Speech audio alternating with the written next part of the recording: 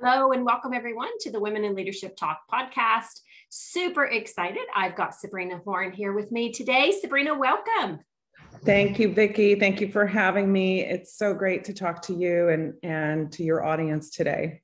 Well, we're thrilled to have you and excited to really let our audience know a bit about you. So, I'm going to take a moment here and just read your official bio so that they have a sense of who you are. And then we're going to jump right into uh, a lively conversation because we have lots, lots to discuss today. Yes. Okay. So, Sabrina, she is an award winning CEO, speaker, communication expert, and advisor. She's also the best selling author of Make It, Don't Fake It and that's leading with authenticity for real business success. And this is what actually caught my eye when I saw your book. I was mm-hmm. like, oh, that's very interesting. So we have to have a conversation and have you on our podcast.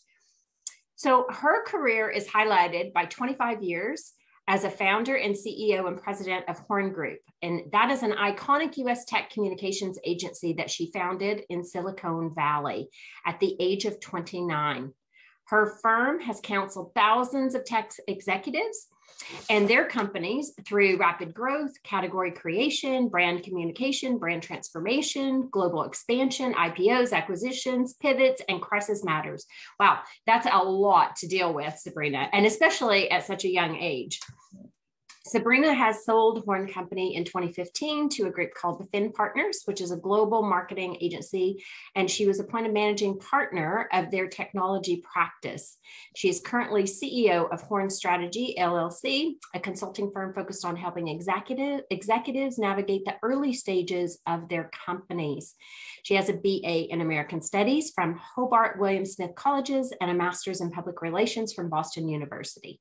She also has two amazing daughters, Grace and Christina, and two very large golden doodles. So when we say large, how large are they? Uh, they're about 80 pounds each. oh my goodness. So they're, they're quite big. Yes. well, if we hear them barking, everybody just bear with us because, you know, they have to protect Sabrina in case somebody yeah. comes to the door. That's awesome. That's awesome. Actually, I had a friend on the weekend who brought her golden doodle over and, and I hadn't seen him since he was like, you know, maybe four months old. And she said to me, you're going to be shocked when you see him. Like he's massive. And I thought, how big could he get in three months, right? Like he's not that big. He what his paws were bigger than my hands. Mm-hmm. I was like, I didn't realize yeah. they got so big.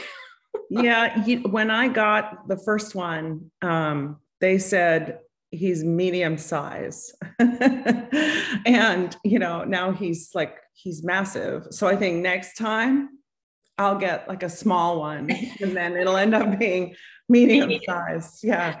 Oh, that's awesome. Well, yeah. they're great to have around, I'm sure. They, they certainly are. Yes. Awesome. Well, thanks for sharing that. So, Sabrina, let's jump in. Let's talk a little bit about your background and really, like, you know, what prompted you to write this book about making it, don't fake it? Yeah. Um, so, that's a great place to start. I mean, I, um, being a career public relations professional in Silicon Valley, I saw and had the opportunity to participate in a lot of fakery. And a lot of people also think that PR is all about spin and just making problems kind of magically go away.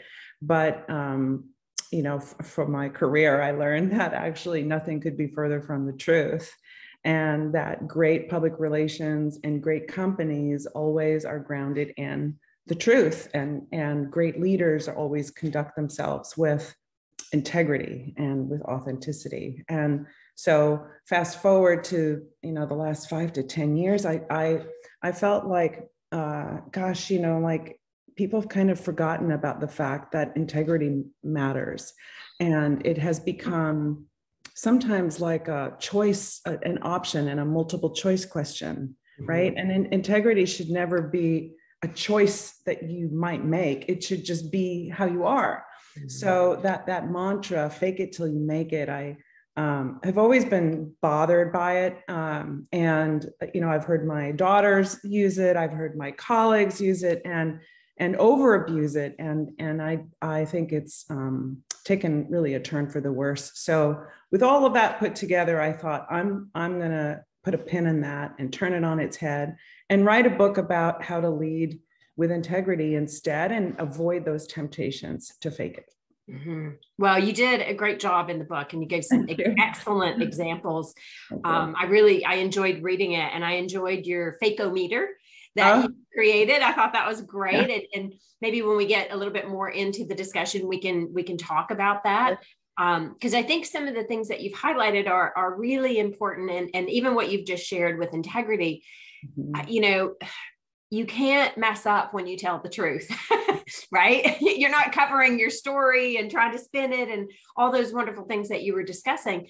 Um, when you're telling the truth, you don't have to worry about that because you're coming from a place of, you know, what's true for you and, and the integrity and authenticity. So yeah, I'm excited. So let's let's continue on here. That's awesome. Okay. Okay. So let's talk a little bit about organizing risk. So you talked about that in the book, and it's this fear of failure or fear of the unknown.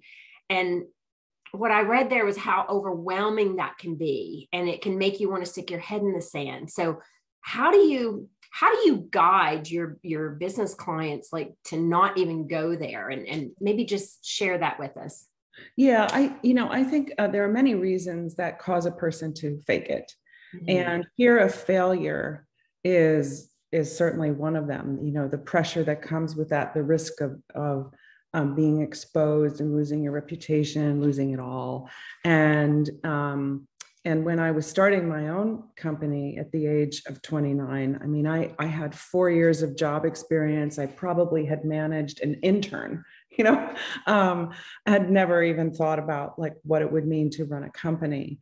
But but when I made that initial sort of foray and I won that first client and, you know, be careful what you wish for, I thought, okay, like I have to plan for the worst. And this is part of organizing risk, right? Like you have to ask yourself in any situation, what's the worst that could happen here? Right. And and then what would you do about that? What is your backup plan? And in, in essence, this is always an exercise in contingency planning or crisis planning, right? And if you don't think about what that might be, then if it happens or something close to it happens, you know, you're going to get that fear of failure and it, it, can unravel you. You could be deer in the headlights and you don't know what to do. Mm-hmm. Um, so, so, you know, whether you're prone to faking it or you want to fake it or not, like it's a good business practice, right? So organize your risk by thinking, okay, you know in in the world of possibilities what is what is possible? What could happen? And then what what will i do about it? And in doing that process you kind of disarm the fear about it because you know that somewhere you know in around all of that you can find a path down the middle and kind of navigate yourself forward. Mm-hmm. Love that. Love that.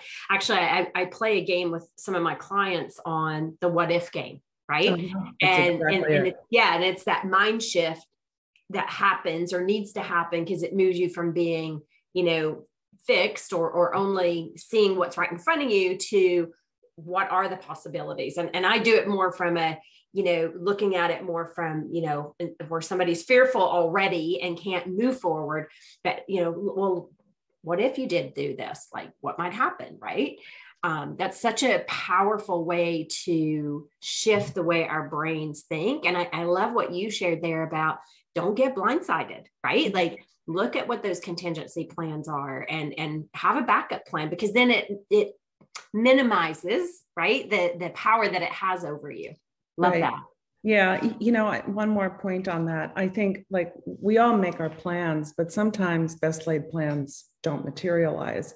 And so if you're counting on certain things to happen within a certain time sequence, right, and something doesn't happen the way you wanted it to, or one piece of it is delayed, you have to think that through in advance and think about like, you know, in anticipation of that, what will you do?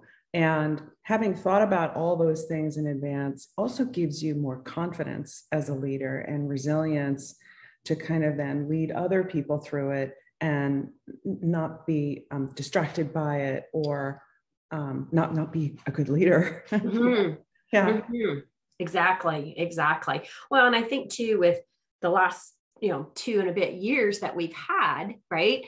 Like this pandemic has taught us even more so the importance of you know agility and being able to pivot and and looking at possibilities because who would have ever thought that basically our world would shut down for a while right yeah yeah yeah so critical and and to your point also on crisis management like being able to lead you know it's great to lead in the good times but oh, you, right. Yeah. right like you you have to be able to navigate that because you've got people who are in, you know the fear is ingrained in them. And so how do you how do you help them release that paralysis and start to put one foot in front of the other? Absolutely. um, yeah really critical. Yeah. So i know in your book you talked about um, when leaving your employer the importance of not biting the hand that feeds you. So maybe you can just share a little bit about you know what your experience was like and and how that actually impacted the business that you created. Right.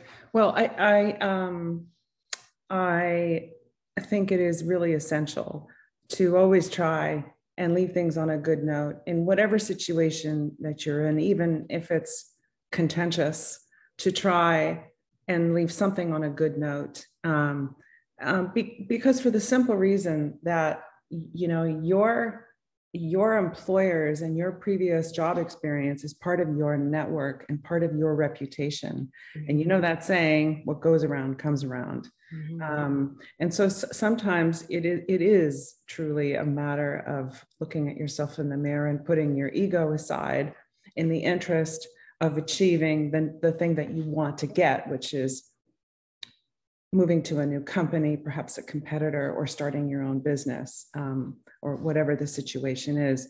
And it's not always possible because, in the reality of the world, right, there may be competitive uh, intellectual property issues or legal issues. You know, if you leave your uh, employer who took you under his or her wing and you take their clients and some of their people, that's probably not going to make them feel too great um, and so that was that was a decision that I made. Um, you know, and I thought, well, look, if I'm going to stand on my own, then I have to get my own business and not just take from the people who were kind to me. And I had no axe to grind. Um, I just wanted to do my own thing. So um, I made a commitment to never knowingly recruit any of their people or take any of their business. Now, you know, if they came to me um, and if, you know, we had that agreement that that was the way it was going to be, then, you know, then I would entertain it. But, um, you know, it was just a philosophy of business, I guess. And it has served me well because uh, both of those women for whom I worked are still my friends. And one of them was actually on my board. So. Oh, lovely. Lovely. Yeah. yeah. That's, that's powerful right? Because you you've kept the relationship going and something mm-hmm. something my mom used to say to me at a very young age she would she would say remember that the ass you kick today? Yeah. When you kiss tomorrow. So you never know right where you're gonna where it's gonna come back around. So to your point full circle. Yeah. um but it's also just smart because as big as the world is the world is actually very small. Oh yes yeah so just you know that, those are i think that's a really good um, good words of wisdom and I, and I loved you know when you talked about that in the book and and how that it also helped you propel your business um, because you had built a reputation and they were also supportive of you because there were clients that that weren't right, right fits for them and they were able to you know refer some of those yeah, clients to you absolutely. and vice versa. Absolutely. Yeah i mean there's no there's no need to create uh, disharmony or bad feelings, if you can avoid it, yeah. do it. And, you know, and strive. I mean, they weren't thrilled that I was leaving. Um, and I explained it to them, but, you know, it just wasn't, I mean, of course, it's like it wasn't a happy situation. But I, I, I told them, I, I told them what my promise was. Mm-hmm. And um, you try and, and make, make the best of it and then, and then hold to that. So. Mm-hmm. Well, that that leads us into my next question because clearly you've got very strong values, right? Mm-hmm. And and values are, uh, I think, sometimes underrated by people when they start businesses or even for themselves, right? Or or even having the awareness of what their values are. So, you know, I know you you refer to this in your book, and, and clearly when you're speaking, I can hear it. So why do you feel this is so critical for you know how you how you operate as a person, but also how you operate your business? Yeah, I um I mean when I started out, I wasn't um, so self-aware of that. I just knew how I was going to how I was going to conduct myself, and I was going to keep it real simple. I think our founding values were like um, work hard, um, be honest, move fast, um, and be creative. And you know, you could put them on less than an index card. Nice. Um, and, and it was really only me, myself, and I for a while there. Um, but um, I, I think that they are so important and they need to be established from the beginning because like a company's culture and how people behave how they treat each other the traditions you celebrate all stem from a set of core values. And who else is better than to, to create those values right than the founder or the ceo or the, the leadership team of that of that company? Everything those those values are inside every fiber of a company um, from culture as i said to business processes. Like creativity if that's a if that's a value or honesty then how does creativity uh, or honesty manifest itself in customer service. How do you talk to your customers? How quickly do you get back to them? How honest are you about supply of your couch when there's a pandemic and it's not going to be available for a long time? You know like um good example. yeah um you know like uh it's it's it is essential to uh, building a powerful and authentic brand that stands the test of time because all of that becomes like the halo effect um, of, of a company and when i talk about building an authentic brand, right? It, it, it stems from those core values. And um, a, a brand is essentially, it's many things, but it is above all a consistent customer experience and the relationship that a customer has with, with, a, with a company or a product. And when that experience is disrupted or changes or deteriorates, it's because something in the company, in the culture, or in a business process fell out of alignment in a way with a core value. And that there's, you know, lots of shades of gray um, in that. But but if you stay closely aligned with those core values and constantly force yourself to come back to them and talk about them, right, it, it keeps you in check. Yeah. Yeah. Yeah. I love that. And that's so true because you know several things that you said there you you actually made me go back into my own you know executive world when um, i was working in retail and you know it's if you're not taking care of the customer somebody else will right yep. and so okay. it's really it is making that part of your dna of how you communicate how you you know how you treat your customers. And customers come in different fashions right? It's your external customer but also internally you have customers within departments right? Um, and and that's something that you know I, I even myself when i became a president for the first time that was something i really tried to um, ingrain in my people. So in the office, it was like, okay, the stores, the warehouse, these are your customers. And so how you treat them will be a reflection of how they treat our external customers. Like such a, such a, it's a simple, it's a simple comment, but it is such a powerful, yeah. um, you know, embodiment that if you don't do it, a lot of times that's how businesses go out of business. Yeah. I mean, so here's the thing like, it's easy to miss because, in fact, it's so simple. And a lot of entrepreneurs I speak with think, like, oh, values, you know, that can come later. Like, that's the soft stuff. Branding, that's something we can think about later. Like, uh, you know, true, you don't have to hire a big agency when you're, when you have nothing and you're just starting out because that doesn't make sense. But having a clear sense of what your value proposition is and what customers can expect and holding true to that as a plumb line right that that is essential Um, and you know, let if you if you think about much larger companies that have stood the test of time, right? Markets change, consumer trends change, um, demand changes. People want different things, and it, I, I will also say it is important to always kind of evaluate if your values are still um, uh, aligned in the right order, right? It's not that values disappear, but they can take on new meaning, right? When the values of a, of a company with 5 million in revenue may be different than a, a company um, with uh, 100 million in revenue, right? And so it's okay to reevaluate them and maybe shift the order or assign new meaning to them as a company grows or contracts. Mm-hmm. Yeah, that's so critical. Again, that goes back to what we were talking about a minute ago about like even the pandemic. It's made you realize, or it should, I, I hope, that businesses have realized that importance of how do you pivot, but you still stay true to the core of, of who you are. Yep. I, I, love that. So, you know, one of the things that that you had spoke about was, you know, becoming a CEO and being reminded that it's not so much the the destination it's more about the journey um, i thought that was a really important comment that you made about how you're always becoming a ceo so why is this well first of all maybe you can share some examples but why is this so important to recognize that it's not like a finite ending once you once you become that ceo Right.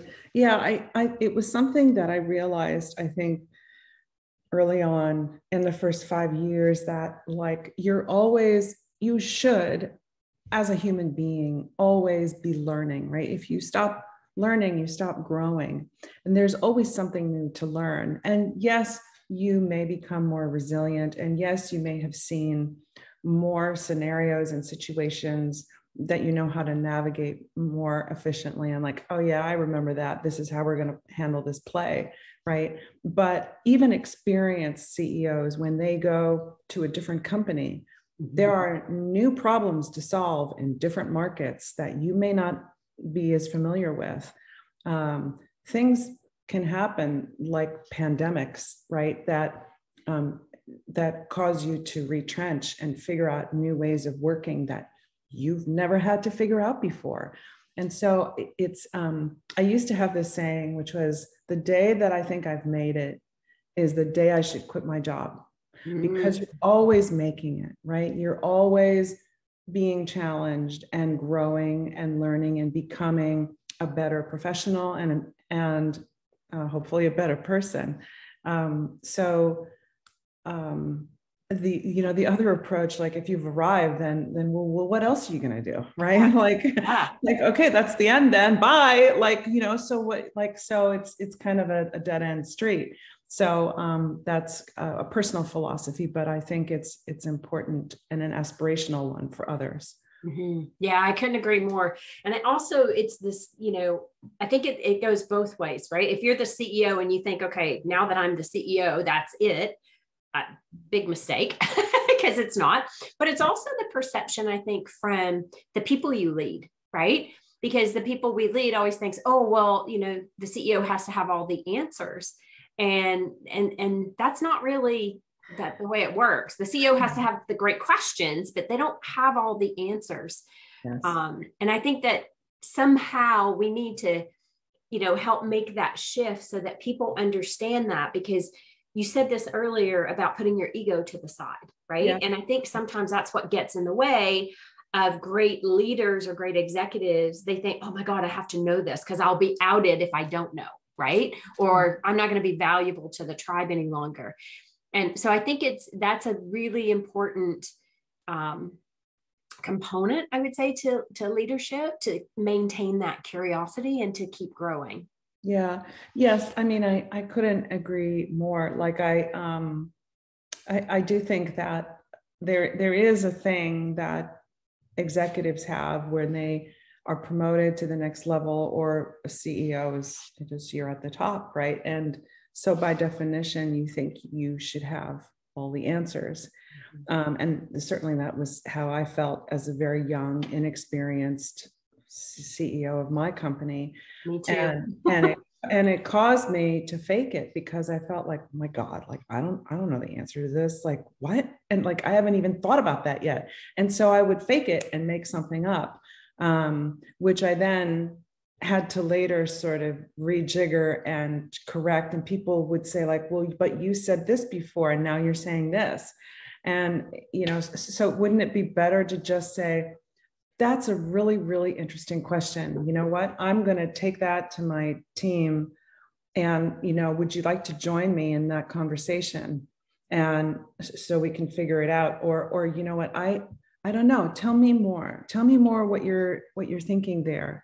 I'd like to think about that. And let me get back to you in two days right that, that's so much better than saying like blah blah blah like making something up right but um but that takes that takes humility um, and setting your ego aside and knowing that that's actually okay and not only is it okay but better yes. to to do it that way yeah couldn't agree more and actually that just prompts you know, one of my questions because one of my favorite parts in the whole book is this short course on humility. So oh, just, right. let's talk about that because I mean, yes. you've worked with, you know, hundreds of clients. So maybe share that with us. Yeah. I mean, I, um, a, a lot of the CEOs in Silicon Valley that I work with d- did not that that word wasn't in their vocabulary. um, Didn't think and, so. yeah, and you know, so, so so I felt like in order to do a good job for them, right? It's it's as I said at the beginning, right? It's not about spin. It's about peeling back the onion and getting down to to the core. Like what are they afraid of? What's the worst thing that could happen to them? What if the product doesn't ship on time? Um, uh, you know, what's the perception of your business and yourself out there in the industry? Um, are you a good spokesperson? And um, and getting them comfortable enough with you to to create I, you know the word is a safe space where they feel like that you are a trusted advisor. And and that's that's really the the relationship you want to achieve because only then right when you really know what you're dealing with can you start to find a path forward and and execute on a strategy um, and the other piece of humility is admitting when you've made a mistake and when something hasn't worked, right? There are plenty of examples I, I showed in the book about it, you know, a pitch where we failed miserably, where I even started to cry. And, um, uh, and then coming back, you know, to, to your office or to your team online and getting everybody together, not to point fingers, but to say like, okay, well, that kind of sucked. that didn't go so well. Um, can we can we talk about where it went off the rails? Um, what could we have done differently? And it starts with you, with the leader, to say, here's what I think I want us to do, and I will take ownership of making sure we have more resources to do ABC so that next time, you know, this will be better. And it's called a postmortem. Um, uh, in you know business terms um, but i think it, you can call it anything you want. The key is to be honest and have you start off first so that everyone else feels comfortable enough to do the same. It creates a spirit of collaboration and um, togetherness right that moves things forward rather than cya and oh no i didn't do that and or political culture. But the, the most essential part of doing this uh, is to then institutionalize the things that you say you could have done differently into actual processes. Yeah. And like that, that could even be a separate meeting or a separate conversation. Because if you don't do that, then, then what was the point, right? That the problem will just persist. Yeah. Wow. You said a lot of powerful things there. That co creation, the mm-hmm. engagement, when you take ownership of it and say, hey, you know what, this didn't work you know let's all talk about how we can improve that process or like yeah. that is such a such a critical component to how you run any business right so yeah. it's that yeah. collaboration and getting people to be part of the solution versus part of the problem or being blamed and we see this all the time right like somebody you know, I, I mean, I'm just as I said that, a couple of examples came to my mind just even recently of, you know, here in Canada, they fired the chief of police in Ottawa oh. because they used him as the scapegoat for the disaster that our government created. Right. And like that happens all the time. People know this, right? You're not getting away with anything. So it, it's better to own it and admit to you know what that direction wasn't the right direction so yeah. how do we course correct and let's do it together yeah. um, that's such a that's such a key piece to any leadership but it's also at the fundamental it's walking your talk right yeah yeah i mean it's it is in some cases though it is easier said than done right the, the of reason course. the reason why people fake it um, and cannot exercise humility is is because reality can be very hard to face right? Um, and it's it's what happens when there's a crisis a, there's a product recall um, the boeing max aircraft disaster for example right? Only certain facts were told. It was selective truth telling. There was not full transparency. Um, sometimes you know there's a crisis you don't know what to do you shove the problem under the rug hope it all goes away right? And um and and that can have like dire consequences. It can make the the crisis worse. And you know it's it is far better far better to come forward and f- face the the music about a mistake you made talk about what happened the impact of that and the steps that are being taken right? And then repair your reputation than being caught later on for a massive lie, probably multiple lies, right? And then being forced out of your business. So neither of those two options are great, but it's much better to be honest and forthcoming and you know probably find forgiveness um, more more so than you would uh, in the other scenario absolutely absolutely well you you get a, you get you salvage a little bit of credibility yes. right when you when you're telling the truth versus putting it you know burying it under the rug and and because eventually it always comes out somebody always figures it out so right. you might as well you know own it and you know then navigate from there to your point earlier when, when you were talking about those contingency plans and mm-hmm. um, you know just taking responsibility for it so um, what keeps coming to my mind is this fakeometer that you created. Oh. Do you want to talk about that a little bit? Because I think that, you know, that's an important piece because people go, oh, but sometimes if my confidence is not there, then, mm-hmm. you know, I sometimes I feel like I have to fake it till I make it. I, I can tell you myself, because I was very young as a, as a president as well. And male dominated industry. And so it was like okay you know i'm just going to fake it until i figure it out. And and yeah. i did and and was successful at it. And then eventually i was like you know the more every day goes by the more you learn right? Yes. mm-hmm. um, but maybe talk about the fakeometer a little bit just to to give the audience a, just a glimpse of what they could find in, in your book.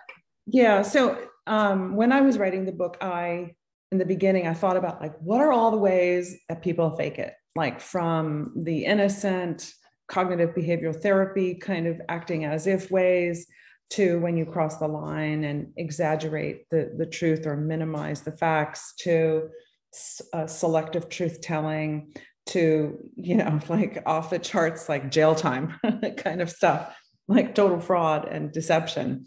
And i thought i'm going to put this all on a continuum and I, I thought like, well, it's kind of like a meter. So I called it the, the fakeometer or the fakeometer.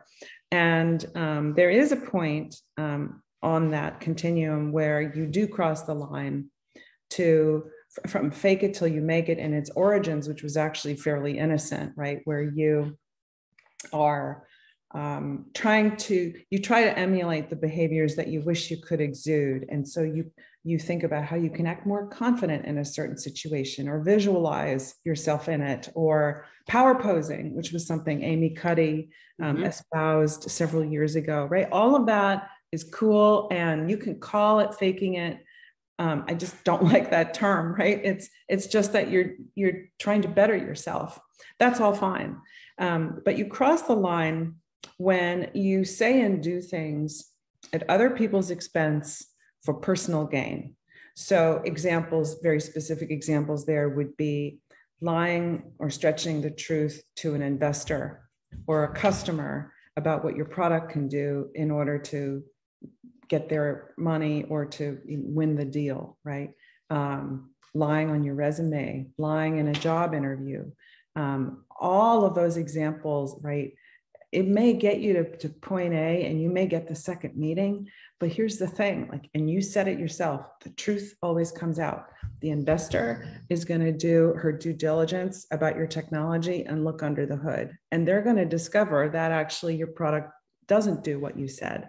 The customer may actually buy the product, great, but when they use it, they'll find out that it doesn't do what you said. So they'll they might post on social media about that and tell everybody not to buy your product, right? Or cause other problems for you. Um, and of course, employers, you know, most most of them check references and check where you went to school and, and what you did. So you, you know, it, it's never a win-win situation, really. It may get you to point A, but the truth always comes out. And when it does, you'll ruin your reputation, you'll set yourself back. And while you're waiting for the truth to come out, you're going to have anxiety, right? About like, oh my God, like, is this going to come out? Right. Um, so, like, it's not worth it. It's not worth it at all. It's better to to find yourself on that continuum and say like this is how I feel right now. I feel under pressure. We're behind the eight ball. We need the money, blah, blah, blah, blah, blah. How can I, how can I tell the most compelling story within the boundaries of what the truth is to, to still win that deal or take a different path uh, rather than face exposure? Yeah. Yeah. Well, and that ties back to what you were saying earlier with your values, the integrity, right? Uh, and that says volume to anyone that you potentially could be working with, whether it's employees, whether it's customers. Um, such a such a oh so critical, so critical. Yeah. Just again, it goes back to owning it. Yeah. So you know, just I know we're we're getting close on our time here. Um, maybe just quickly if you would share mm-hmm. share a couple of examples you were 29 years old yep. um, you know heavy male dominated industry lots of BS. Mm-hmm. how how did you how did you stay true to your values and you know ensuring that that authenticity was in place because i mean clearly you've given some great examples and that's really important to you so how did you stay true to that yeah i, I think um, i learned to stay true to it by not staying true to it and the fallout from that um, there were times when when we were behind the eight ball and we needed to bring in some revenue fast and we overpromised what we could do and very quickly uh, underdelivered and then lost pieces of business and lost all of it along with a piece of our reputation right? Um, so so i fell prey to that also uh, not sticking true to being authentic about what we could and couldn't do um, uh, you know, there are other examples where it worked so great when during the recession and cash was really tight. Um, we had a client who had a new CEO, a very powerful woman who had lots of experience. Uh, and the account was $20,000 a month, which was you know, quarter million dollars a year it pays for a lot of people's salaries. Mm. And, um, but she was abusive to uh, the men actually on, on my team um, so kind of a different kind of gender bias. And uh, we had conversations with her and you know here, here's what's working here's what's not uh, here's here's how we can improve. Um, i couldn't afford to to lose that revenue but i knew that it probably wasn't going to work with her. So i established a plan right? And i like my employees are everything. And they without them there is no company. So in three months, I thought we're going to let her go, but we need to figure out how to make up the revenue between now and then. And, and so we did. We developed a plan and a strategy. We won pieces of other business, uh, and and I'll never forget the day. And I called her up, and she was on her way to the airport, and I said, "I'm firing you because you don't get to treat my people that way." And a few words were exchanged and uh, you know but, but what i lost in revenue i had made up already right? Because i had a, a strategy and i gained in more loyalty and camaraderie from my team. So that that's that was a good example of sticking to my values. That's an awesome example actually. And it, it you know for our audience listening i mean you know, sometimes we think we're in situations where we have to tolerate certain things. And that's a beautiful example of always go back to what your truth is, no matter, no matter what situation you're in. And if you plan, you can overcome it. Right. Yeah. I mean, there are situations where you you can't just cut it off, right? Um, because it's too disruptive for one reason or another. So you have to make a plan. But but like that's just good business, right? That's good strategy and good planning um, and um, uh, you know that that was that was a good one for us. That was a good win. Yeah that's awesome. Great example. So we're going to wrap up here but maybe maybe you could share one or two things that you think our audience could walk away with and implement today. Like what would be what would have an impact? Yeah i guess i would say um, you know uh, a few things. Like think think about the last time that you faked it and it could just be it could be something personal to impress somebody or something in a business sense. And ask yourself what made you want to fake it? Like what triggered that? Was it fear? Was were you under pressure? Did you just not know what to do? And and then and ask what like what were the consequences of that? Did you pull it off? Were you exposed? Um, right? how did you feel about it? Were you proud of yourself you know or, or were you embarrassed um, and and then and then ask yourself like well if i had a do-over how would i do it differently right? If i could have in that moment just had the presence of mind to take a different path right? Would there have been a different outcome or a better a feeling about it as a as a leader right? Um, uh, i that's i guess what i would close with right? To to challenge yourself to think differently yeah that's a that's a great i love that love that. Some some awareness building and reflection on you know how would you plan to do better next time? And instead of again don't blame others take responsibility. Awesome. Right. so sabrina this has been a great conversation amazing tips. So I, i'm sure our audience would be excited to read your book. So how do they how do they find your book?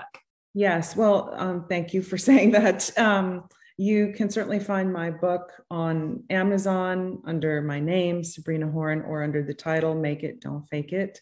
Um, it's available in digital, audio, and um, paperback.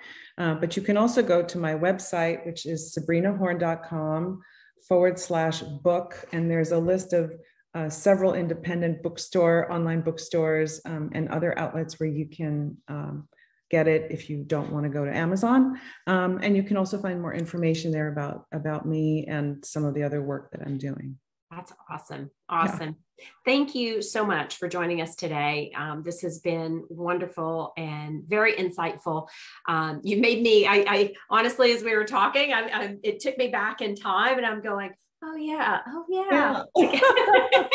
some of those things i wish i had done differently but have certainly self-corrected now yeah. Um, yeah really great conversation thank you thank you very much for having me vicki and thanks to everybody for listening today yeah, absolutely.